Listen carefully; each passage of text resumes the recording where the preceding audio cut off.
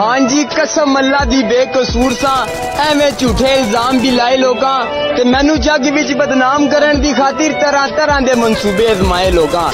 पर्दा उस सोने रब दी जात रखिया थाने विच भी केस दर्ज कराए लोग ते दानी जी अच्छी फेर भी बरी हो गया एवें झूठे कसम कुरान भी चाहे लोग